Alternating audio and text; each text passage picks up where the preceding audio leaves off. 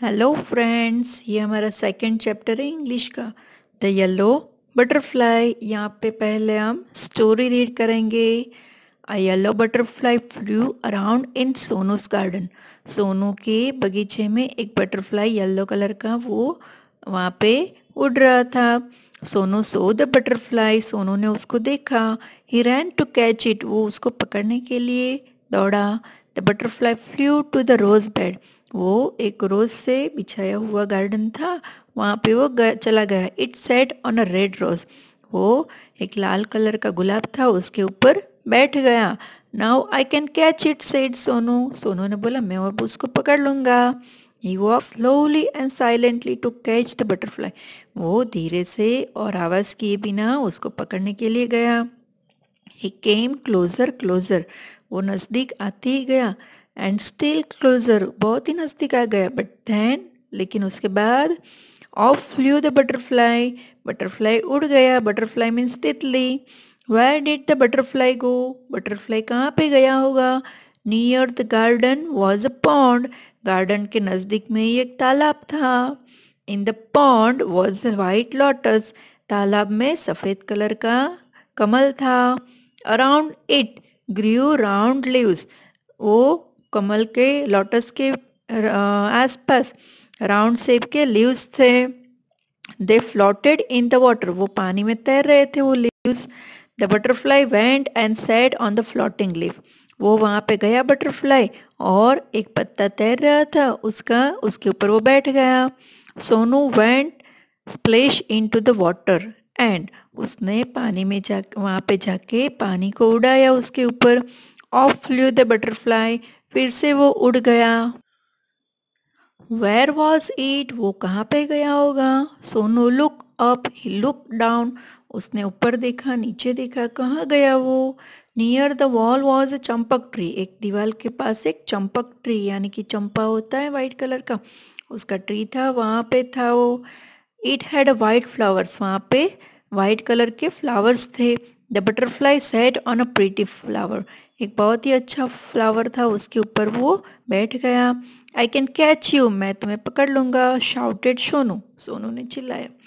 He climb up the tree वो पेड़ के ऊपर चढ़ने लगा।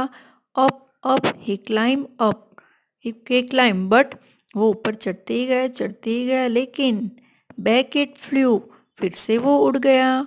Down from the tree tree के नीचे। Sonu jump down too, Sonu ने भी वहाँ से नीचे जंप किया।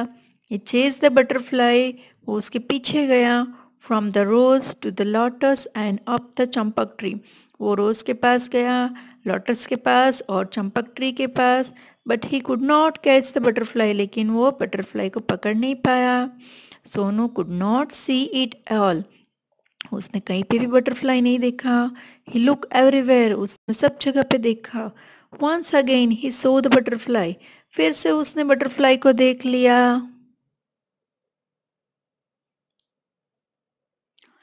There was a big web, a spider's web in the guava tree. वहाँ पे गुआवा ट्री था। वहाँ पे बिग वेब ऑफ़ स्पाइडर यानी कि मकड़ी का जाल था।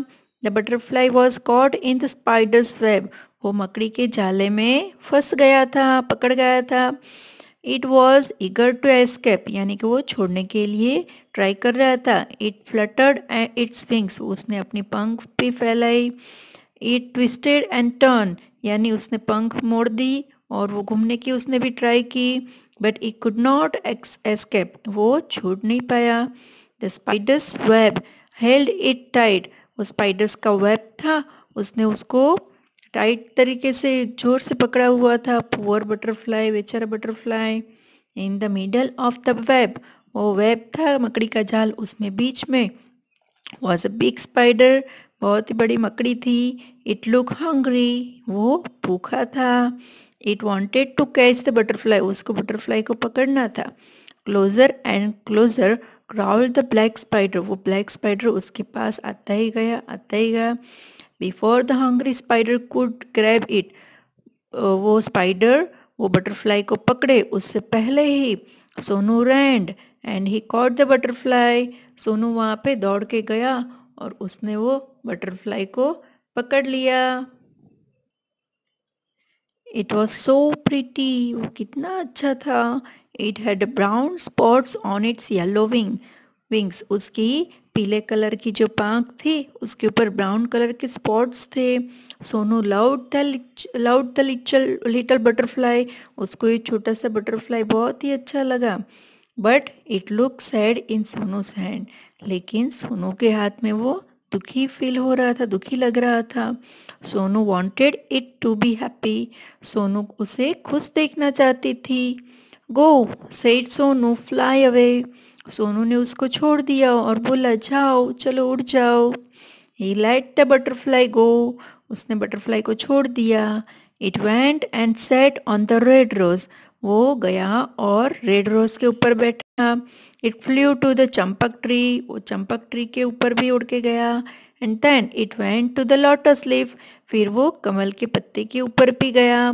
सोनू स्माइल उसने स्माइल दी सोनू ने as he showed show how the butterfly flew merrily from flowers to flower यानी उसने देखा कि वो कितनी अच्छी तरीके से खुशी के मारे बटरफ्लाई फ्ला एक फ्लावर्स के ऊपर से दूसरे फ्लावर के ऊपर चला जाता है।